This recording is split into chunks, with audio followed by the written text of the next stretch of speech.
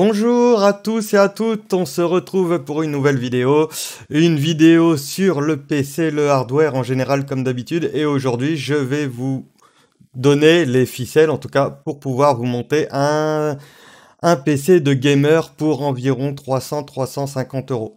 Donc il faut savoir, je préfère le dire euh, dès le préambule, que c'est des PC que je monte et que je revends. Euh, un petit peu plus cher, une cinquantaine d'euros pour le montage et l'installation de, Windows et des, logiciels. Mais euh, si vous souhaitez vous monter un PC de gamer pas trop cher, alors forcément il sera pas hyper performant, mais euh, on va dire il fera le taf sur les petits jeux et, et sur les gros jeux en faisant forcément un sacrifice sur les graphismes parce que vous comprendrez que ce PC a une petite particularité qu'on va voir euh, tout de suite après. Donc, euh, ben, le PC que vous voyez là, là pour commencer, c'est euh, un des PC que j'ai monté. Donc euh, bon, on a mis un petit peu, on a rajouté un petit peu de, LED. Alors la vitre est, nickel en fait, hein, c'est parce qu'il y a encore le, film plastique qui est dessus. Donc euh, je vous propose de vous présenter les composants et ensuite je vous ferai un petit récapitulatif de tous les prix euh, pour ceux qui souhaitent se le monter eux-mêmes, qui n'ont pas trop de budget ou qui peuvent pas se payer un gros PC de gamer avec une grosse carte graphique tout de suite. Alors, au niveau de euh, la carte mère, donc la carte mère, je suis parti. Alors, ce qu'il faut, faut bien comprendre que tous les composants sont achetés euh, pour euh, certains neufs, mais la plupart forcément sont achetés d'occasion sur le Bon Coin, sur eBay et autres. après, c'est à vous à trouver les composants, à les négocier au bon prix, et puis à trouver aussi de la disponibilité sur sur les composants que je vais vous présenter là, si vous voulez arriver dans la même fourchette de prix. Donc, on part sur une carte mère, donc B450. Donc, euh, pour rappel, euh, ce sont les avant-dernières cartes mères euh, sur le chipset des AM4. donc, on va dire, ce sont pas des cartes mères qui sont très anciennes. moi, je pars sur un modèle B450M, tout simplement parce que le, M signifie qu'elles sont au format micro ATX. C'est-à-dire qu'elles sont un peu plus petites que les cartes mères au format ATX. Et du coup, ça permet de les mettre dans des boîtiers qui sont un peu plus compacts. Euh, forcément, ça évite d'avoir de monter des trop gros PC et de garder une taille raisonnable euh, au niveau du boîtier. Donc ces cartes mères sont fournies avec euh, forcément un PCI Express en 3.0. On n'est pas sur du 4.0 comme sur les B550, mais c'est largement suffisant aujourd'hui. Il n'y a quasiment aucune différence à l'heure actuelle. Euh, et euh, comme elles sont dans une version M, elles ont forcément moins de connectiques. Donc vous aurez peut-être 15 slots pour la carte graphique. Mais de nos jours, qui utilise vraiment les autres slots? Ça, c'est une très bonne question. Donc, euh, très bonne carte mère, milieu de gamme. Euh, elle est au-dessus des A320 et en dessous des X470. Elle permet, euh, pour ceux qui le souhaitent, de faire de l'overclocking. Donc, ça permet de booster son ordinateur en augmentant les voltages on va dire, on est, on est déjà dans, dans, une utilisation très avancée de, son ordinateur, mais elle permet de faire un petit overclocking en étant une carte mère euh, moyenne gamme. Donc, euh, c'est une carte mère que je, recommande euh, si vous n'avez pas trop de budget, forcément. Au niveau du processeur, donc le processeur, on va partir sur un 2400G. Alors, qu'est-ce que c'est que ce processeur? C'est un processeur donc Ryzen Zen Plus donc qui dispose d'une partie graphique. En fait, avec un PC à ce tarif, vous vous doutez bien que vous n'allez pas avoir de carte graphique à l'intérieur de l'ordinateur, de carte graphique dédiée à proprement parler. Euh, on va partir sur un processeur qui fait et processeur CPU, mais également qui fait également GPU. Alors c'est ce qu'on appelle un APU, quand ça fait le CPU plus le GPU. Euh, c'est ce qu'on retrouve dans les consoles de jeux vidéo, hein, par exemple. Euh, et donc moi, euh, je pars sur un 2400G. donc là, pareil, au niveau de, de sa gamme, on va dire, c'est c'est l'avant-dernière génération, il y a le 3400G qui est légèrement plus performant, il a 100 MHz de plus au niveau de la fréquence du processeur, ce qui est, ce qui pas forcément énorme sur une fréquence de 3600 ou 3700 MHz.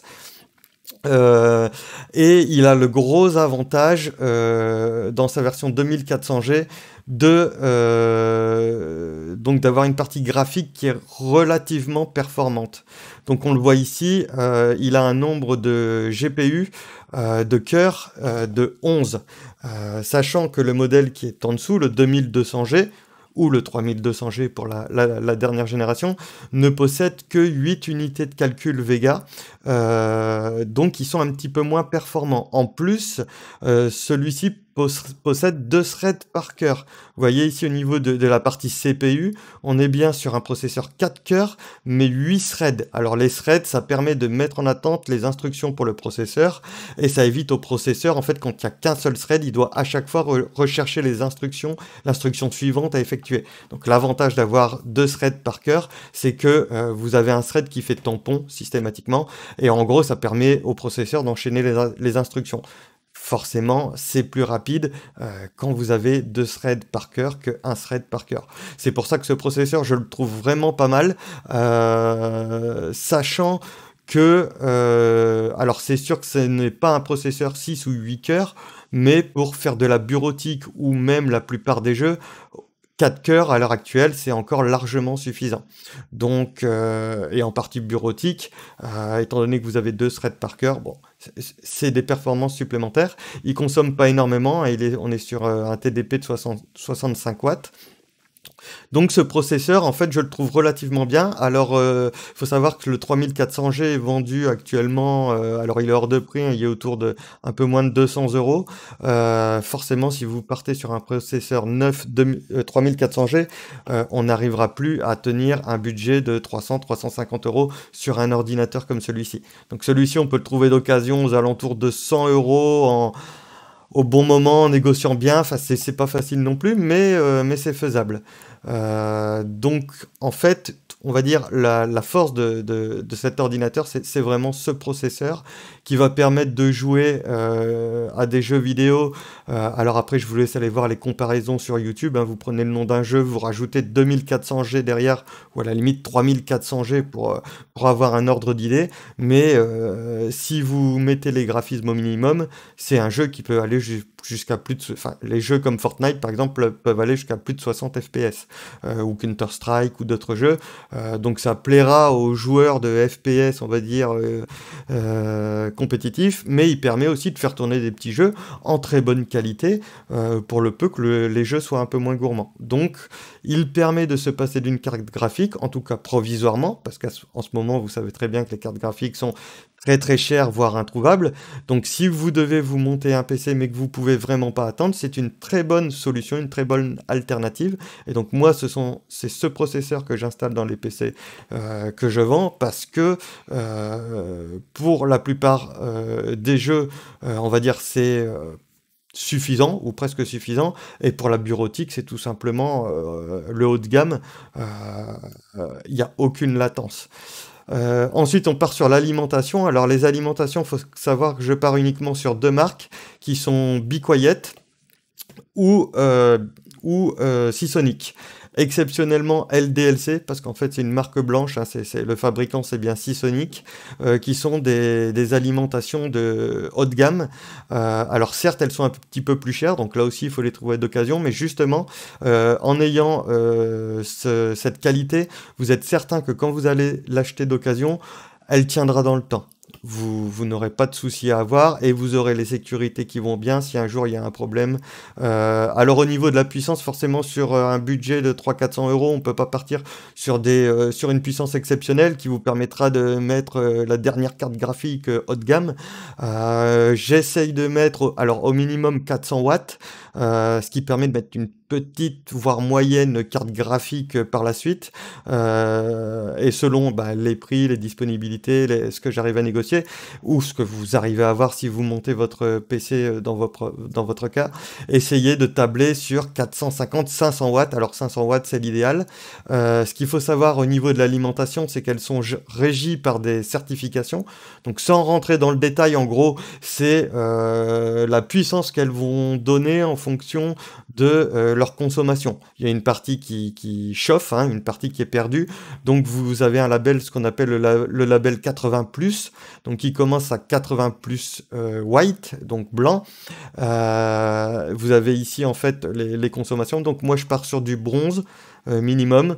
Si vous arrivez à avoir du silver, voire du gold, hein, c'est entièrement faisable. J'ai monté des PC, euh, je, vous, en parlerai un petit peu plus tard, euh, de la même configuration avec, avec des, alimentations 500 watts, soit bronze ou, ou, 450 watts en gold. donc c'est, on verra au niveau des tarifs, mais essayez au moins d'avoir un 80 plus bronze sur une de ces deux marques, ce qui vous garantira euh, une fiabilité dans le temps sur votre alimentation et sur le fait que vous l'achetez d'occasion également.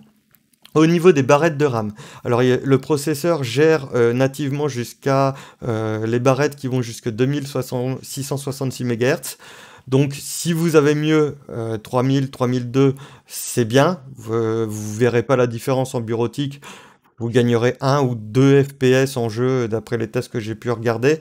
Euh, donc euh, il faut partir par contre sur deux barrettes de 8 Go parce que le processeur 2400G va déjà réserver 2 Go pour sa partie graphique. Donc il va vous rester 14 Go.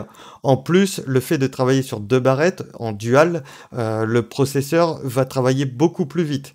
Donc, il faut impérativement partir si vous voulez avoir une config euh, correcte euh, et ne pas avoir à rajouter de la mémoire dans quelques années sur 2 x 8 Go. Donc, les plus abordables, euh, celles qu'on trouve relativement souvent, ce sont des, barrettes sans dissipateur, hein, comme on peut voir ici, les cruciales notamment, qui ont un rapport qualité-prix à peu près correct. Par contre, c'est vrai que d'occasion, on c'est assez difficile de trouver un rabais sur, les, sur, euh, le prix des barrettes. Euh, au niveau du ventirad, euh, je vous conseille, même si c'est pas obligatoire, de partir sur un ventirad autre que le ventirad qui est fourni avec le processeur.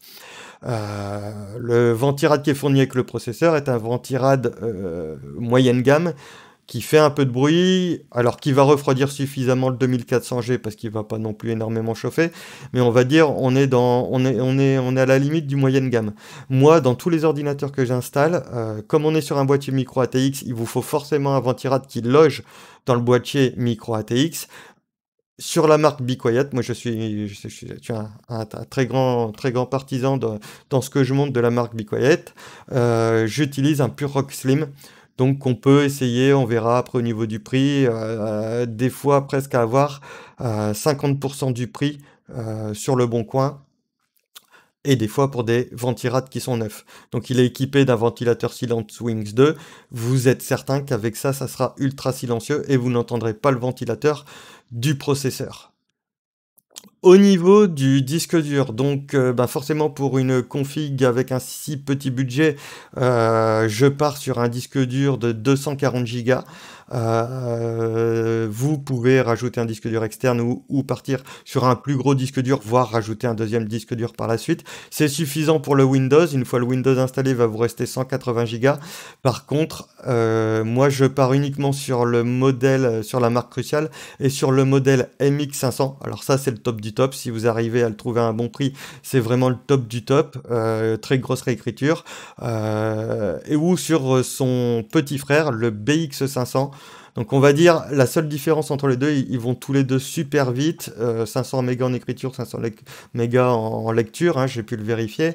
Euh, la différence va se trouver surtout au niveau du nombre de réécritures. Alors le BX500, euh, on parle en millions de fois, hein, donc bon, il faut quand même y aller. le BX500 est un très très bon produit qu'on trouve euh, souvent en promo. Euh, donc essayez de tabler sur, un, sur ce disque dur là.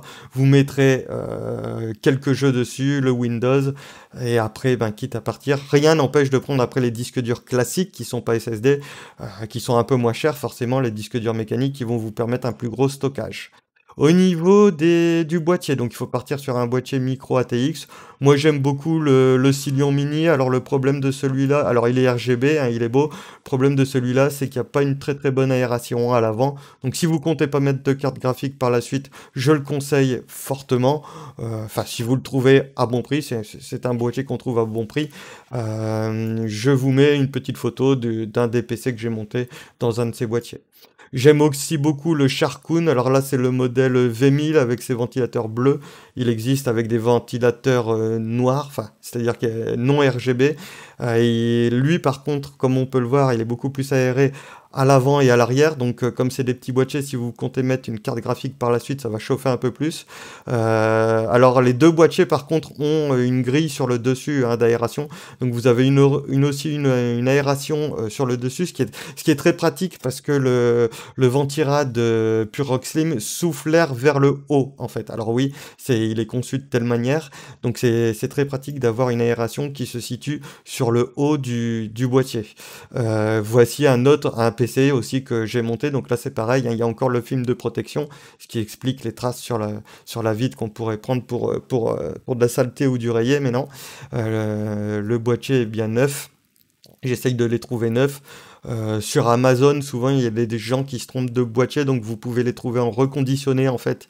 Ils sont encore neufs, c'est parce que les gens ont acheté une trop grosse euh, carte mère et se sont aperçus que le boîtier était trop petit, donc ils renvoient le boîtier. Il y a des bons plans si vous voulez trouver des boîtiers euh, intéressants et à bon prix. J'aime aussi beaucoup un autre de la même famille chez Sharkoon, c'est le S1000. Il est aussi bien aéré à l'avant parce que vous voyez les petites ailettes sur le côté avec l'aération. Euh, comme celui que je vous ai présenté avant, l'avantage c'est que ces deux-là, comparé au Cilion, euh, ont un cache alim. Donc euh, souvent, ben, pour trouver une alimentation pas trop chère, elle est souvent non modulaire, ce qui veut dire que vous avez tout un tas de câbles qui sont fixés à l'alimentation. Donc quand vous avez ce type de boîtier, ça fait nettement plus propre au niveau du cable management. Un autre boîtier aussi, pour terminer sur les boîtiers que j'aime pas mal. Euh, alors lui, il n'a pas de cache à par contre, c'est le QL300 hein, de, de Cooler Master. Euh, il est très beau. Alors il est pas RGB, mais vous voyez, des, des grilles, il est très très très beau. Euh, alors Forcément, ce que je vous conseille d'installer, c'est Windows 10. Euh, moi, sur les ordinateurs que j'installe, j'installe Windows 10. Donc, euh, la version professionnelle, vous pouvez la trouver. je vous mettrai un lien dans, mon, dans la description. De toute façon, tout ce que je vous montre là, vous, le retrouverez en lien dans la description. Donc, par contre, là, c'est une version à 145 euros pour la version familiale. Une version que je conseille, que je conseille pas du tout, parce que vous pouvez trouver une version qu'on appelle OEM, donc vous l'installez, elle est liée à votre ordinateur, mais elle sera beaucoup moins chère, qu'on peut trouver autour de, 20 euros. Et après, j'installe tout un tas de logiciels que je trouve indispensables. Alors, je vous conseille forcément un antivirus. Vous avez la version gratuite de euh, est, qui, est, qui est un très bon antivirus. Vous avez pour le navigateur web, euh, le navigateur, navigateur, web, pardon, je vous conseille euh, Brave, euh, qui est un navigateur qui a été fait par le créateur de Firefox, qui bloque les publicités, qui se soucie de votre, votre, vos informations personnelles. donc il est, il est très très très très convivial d'utilisation. J'étais habitué à Chrome, je suis passé dessus, il m'a fallu quelques jours ou une ou deux semaines pour, vraiment me l'approprier. J'ai vraiment rencontré aucun blocage sur ce navigateur, au contraire. Donc euh, maintenant c'est celui que j'installe automatiquement sur, sur les ordinateurs. Vous voyez la, page nouvel onglet est assez sympa. Vous voyez le temps, euh, le, nombre de, de bandes passantes qui vous a fait économiser en bloquant les publicités et autres, et le temps du coup forcément que vous avez gagné. Euh, j'installe aussi forcément la suite LibreOffice hein, qui est gratuite et qui permet de lire les documents Word, Excel sans payer une licence euh, une licence Office directement à Microsoft, qui est quand même relativement onéreuse.